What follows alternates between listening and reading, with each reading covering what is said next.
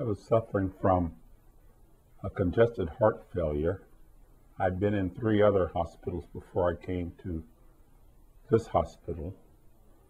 And when they kept me upstairs, uh, they brought me down to the CHF clinic. I came in on a stretcher. I didn't have strength enough hardly to get off the stretcher. They took me off the stretcher and put me in a chair and started treatment on me. And after three visits to the CHF clinic, I started getting to the point where I would get out of bed upstairs more than what I had before. I never thought that I would get to the point or to the my body would get to the point where it is now that I wouldn't have pains and that I would be able to walk again. I'm very pleased at the help that I got here at Christ. Uh, it's so, like I say, the nurses, the doctors here are so encouraging to explain to you what is wrong.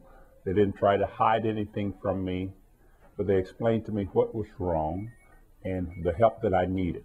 And they started immediately giving me the help that I needed, and I feel great. Well, I think we uh, we finally convinced Mr. Sinclair to come to the clinic after he had been hospitalized multiple times. He was really advanced. He could barely get around the room. He was short of breath with any activity, and I promised him that we would do everything we could, and I also promised him that we would go in baby steps as long as each step was a step forward. And uh, really, uh, we were fortunate to be able to do that.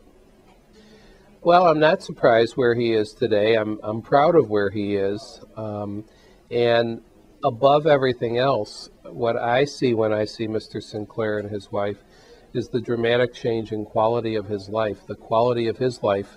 And I think he'll tell you um, was one that put him in a, a state of mind where he thought there was no hope, that things couldn't be better. He was hospitalized over 30 times.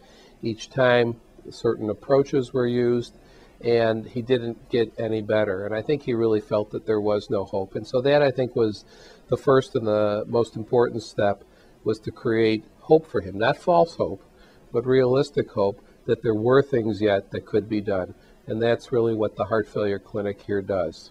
When I first met Mr. Sinclair, Mr. Sinclair was almost too tired to speak.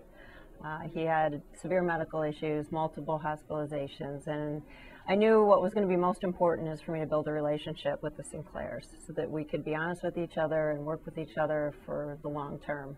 And with their help, we've been able to manage his care and bring him to the place he is today. Um, instrumental in that was working with Dr. Silver, an advanced heart failure specialist, in order to put him on the right medications and make sure that the therapies were correct for his needs. Uh, here at the clinic, we do a whole range of services ranging from screening and prevention for patients at risk for heart failure to treating patients with advanced heart failure who might need therapies like left ventricular assist devices or heart transplantation.